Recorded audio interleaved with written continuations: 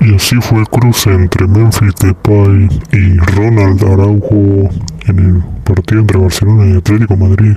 El jugador uruguayo no lo dejó pasar al jugador neerlandés que intentó pasarlo y quedaron muy bien. Nos vemos.